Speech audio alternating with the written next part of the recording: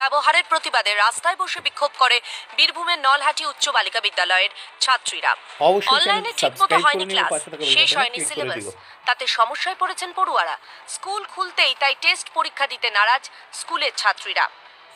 Test দিতে চাইছি না কারণ আমাদেরকে সাত তারিখে বলা হচ্ছে যে সাজেশন দেবে। আর সাজেশনের পর আমাদের ঠিক তারিখে আমাদের এক্সাম নেওয়া হবে।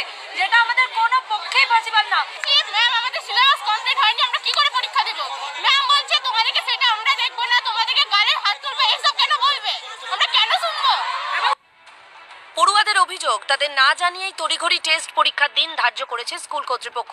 তাদের আরও অভিযোগ প্রধান শিক্ষিকার কাছে জানাতে গেলে ফল তো মেলেইনি উল্টে তাদের স্কুল থেকে বেরিয়ে যেতে বলেন তিনি। আপনি যেভাবে আমাদের উপরে দরজা লাগিয়ে দিল এটা কেন করল আমাদের পক্ষে? আমাদের রেসপেক্ট নেই। আমাদের রেসপেক্ট নেই। কিছু মানে বিনা কিছু জানি কোনো কিছু আমাদেরকে বলা হচ্ছে না সব কিছু আগে থেকে বাড়িয়ে দেওয়া হচ্ছে। বন্ধুরা ভিডিওটি ভালো লাগলে অবশ্যই লাইক কমেন্ট শেয়ার করো স্কুলের সামনে রাস্তায় বসে প্রতিবাদ বিক্ষোভে সামিল হয় ছাত্রীরা।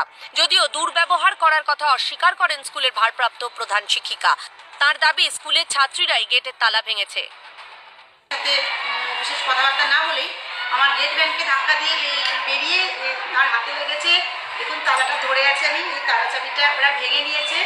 এই যে ভাঙা অবস্থাটা এটা করে ওরা রাস্তায় আহ, বসেছে রাস্তায় বসার কোনো অবশ্যই share না। করো। এখন কোনো অভিসন্ধি থাকলে সেটা থাকতে পারে সেটা আমি বলতে পারব না। কিন্তু স্টুডেন্টদের জন্য আমাদের আহ, মানে স্বার্থত্যাগ বলুন বা আমাদের সহায়তা বলুন সবসময় আমার পক্ষ থেকে এবং আমার আহ, বিদ্যালয়ের সকল টিচারের পক্ষ থেকে আছে। স্কুল খুললেও পরীক্ষা নিয়ে রাজ্যের দিকে দিকে তৈরি হচ্ছে অসন্তোষ।